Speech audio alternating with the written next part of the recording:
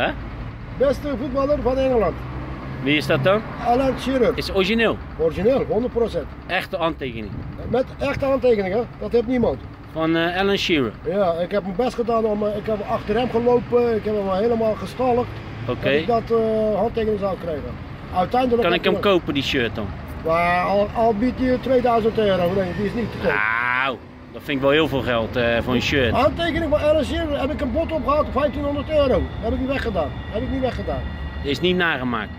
Is origineel, kijk, kom maar helemaal dicht kijken. En als mensen echt, echt serieus willen bieden dan? 5000, dan mag je meenemen. Eh, hoe kunnen ze jou bereiken?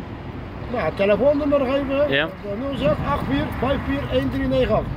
Ja, en eh, hoe kunnen ze je anders bereiken? E-mail, E-mail heb ik nog niet. Facebook, Facebook heb ik nog. Volkan. Volkan Pinar Bassi. Eh, hoe schrijf je dat? Pieter, Isaac, Nico, Anton.